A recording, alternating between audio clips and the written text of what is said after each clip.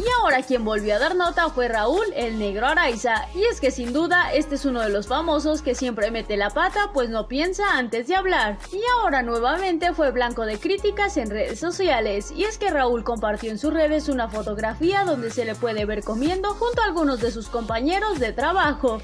Pero lo que en verdad desató las críticas fue el mensaje con que acompañó la fotografía que dice, primera del año, así o más albañiles. Enseguida los usuarios en redes nos hicieron esperar para atacarlo y decirle, la palabra albañil es una persona que se gana el dinero con el sudor de su frente. Y tú de eso no entiendes porque no sufres para llevar el dinero a tu casa.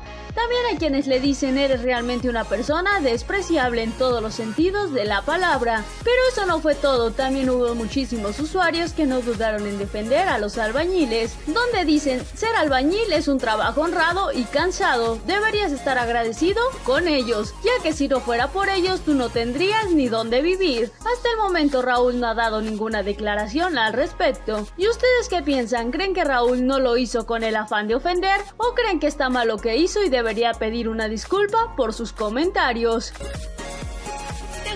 ¿Te gustó este video? Dale like y compartir, ya que todos los días te traeremos el alboroto de los famosos.